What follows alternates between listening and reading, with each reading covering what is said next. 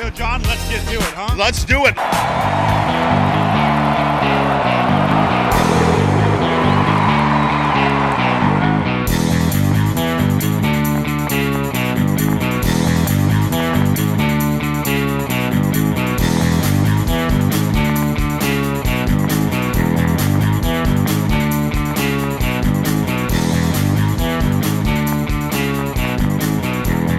All right, we found some Seminole fans right here on the front row, man. You got ringside, basically. Tell me about what you're excited about today.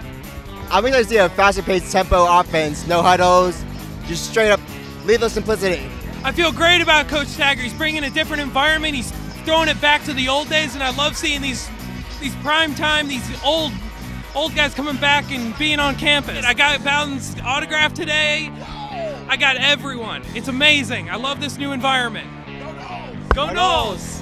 Nobody you want to start the season off more than with Charlie Ward, legendary FSU quarterback. Charlie, how's it going, buddy? Uh, it's going well. I'm just enjoying uh, seeing a lot of the old faces and um, getting a chance to see the new new. Uh, How excited are you about this team and the new coach? uh, we're excited, you know, to see how things uh, go. And today won't really be uh, indicative of what it will look like because you have guys split up, but we'll at least get a chance to see the style of play and see some of the guys. And then finally, what do you think about the electricity in the stadium, the fans, and what are the guys thinking right now, too? Uh, of course, this is um, great to see spring game where we have this many people here and people excited about coming to watch the nose. All right, we're on the field now, but let's move upstairs to everybody's favorite place to watch the game, the Dunlap Champions Club. Take a look, there it is, folks. Three seasons ago, this will be the third season for the Champions Club, and it is one of my favorite places to go on game day. Let's take a look.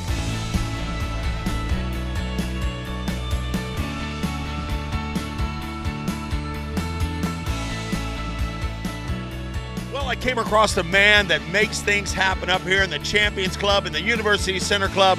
Danny Masudi, how you doing, buddy? I'm great. How are you? I'm hanging in there, man. People are so excited about Florida State football this year, and and you know the the Champions Club looks as fresh as ever. You guys have have have uh, really done a great job up here. Thank you so much. This is the biggest turnout we have. We have 6,000 people today, and everybody happy with the food we have. And this is, uh, I think, like I said it before, this is the biggest turnout for us. And we are very, very, very hopeful for the season start. And I think we have a great season. And thank you so much for all your support. Well, it's our pleasure, you know, and, and Danny, you know, it doesn't seem like the lines are too bad. People are getting through really quick. Uh, I, I, I love the, the, I just tried the nachos and the loaded hot dogs, man. It's so great. If you're a member of the Champions Club, it's got a lot of perks, man. And there are still some memberships available, right? Exactly. Well, we already have uh, 70% of our club seat being sold out, and we have 30% left. So we are very excited, and you are welcome to uh, kind of reserve one of those champion club seats. So if someone was interested in becoming a member of the Champions Club, who would they contact? They have to go to contact with the booster ticket office. The, the Seminole Boosters. Seminole boosters. There you go. Danny, good luck this season. so much. It's good to see you again, Yes, sir. and we love you, and thanks for coming. And go Noles. Woo!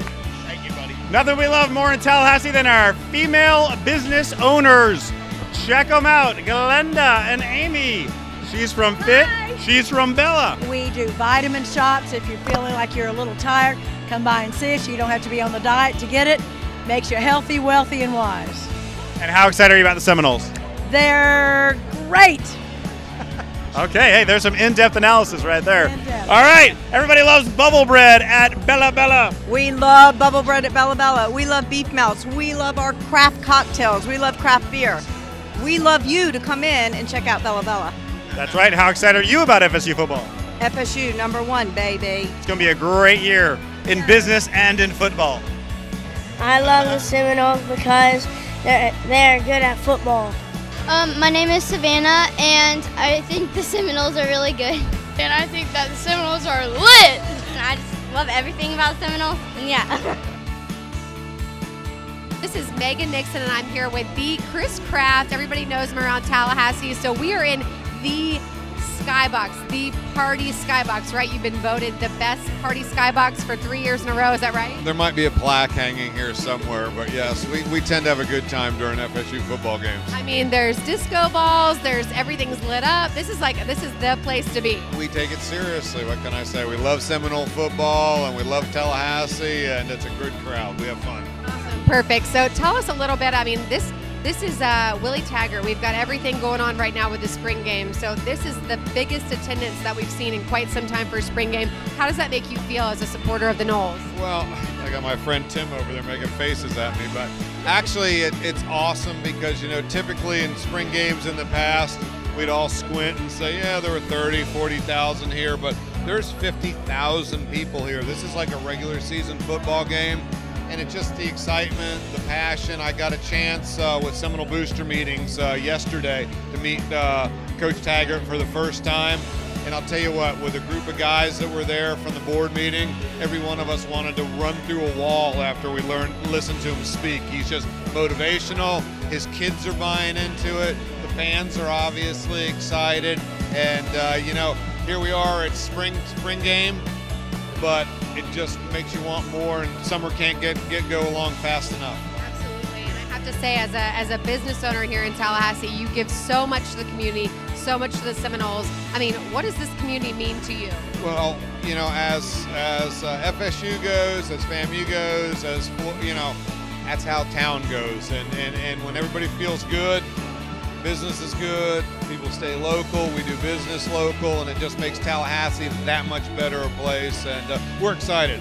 It's, um, I mean, this is awesome. This is this is April, and it's football season already. It is. It feels like it is an actual Doesn't it? football game Really? right now. It really does.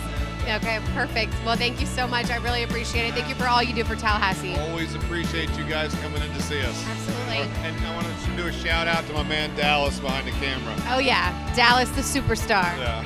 All right. Thanks, Megan. Thank you. Right in the middle of it all now with Petty Officer Kelly, who just had an amazing moment here in the stadium. Explain to us what just happened. Well, uh, I ran out and uh, surprised my brother. Uh, I didn't tell anyone I was coming home. It was great to see him. I've been gone for two years. It's- I, I'm glad to be back. It was really incredible. First, he put a message on the screen, which was really neat, and he thought he was getting a special message to his brother, and then all of a sudden popped out, right? And then what was his reaction? uh, we shed a few tears out. of uh, yeah, I miss him. Um, I love my brothers. Uh, we ain't seen each other in a long time, so That was really neat. Uh, We're so glad, and we thank you for all you do for this country. Appreciate it. Finally came across a player that actually was on this field when I was at Florida State.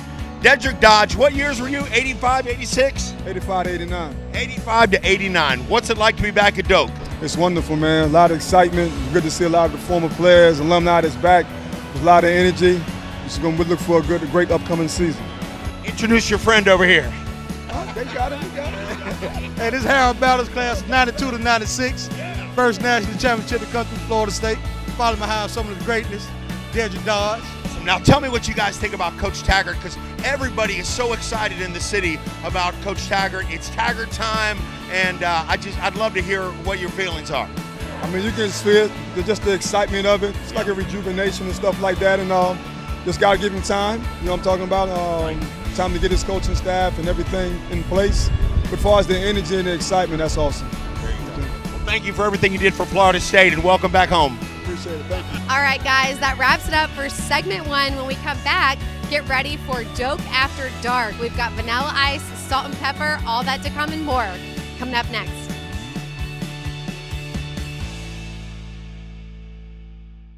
Every single case I've ever tried, I can tell you the name of the person, I can remember their face, I remember their family, I remember everything about that person.